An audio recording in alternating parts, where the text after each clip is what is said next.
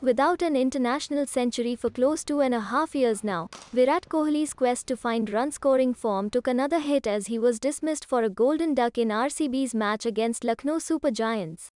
When I was coach at the time when this first started, the first thing I said is, you have to show empathy to the guys. If you're going to be forceful, there is a very thin line there, from a guy losing the plot as opposed to him hanging in there and giving his best. So you have to be extremely careful, Ravi Shastri told Star Sports in the post-match show. I am going straight to the main guy here. Virat Kohli is overcooked. If anyone needs a break, it's him. He needs a break because he has got 6 to 7 years of cricket left in him and you don't want to lose that with a fried brain. He is not the only one. There might be one or two in world cricket going through the same. You need to address the problem up front, Shastri added. Former England captain Kevin Pietersen agreed with Shastri, 100% correct, Ravi.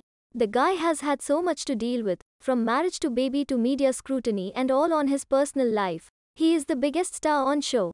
Virat Kohli needs to say cricket boots for 6 months. I will see you later. Turn off social media, go and get re-energized. When the stadiums are full again, you guarantee him a spot in that side for the next 12, 24 or 36 months. Tell him, you're our guy. We know you'll deliver for us.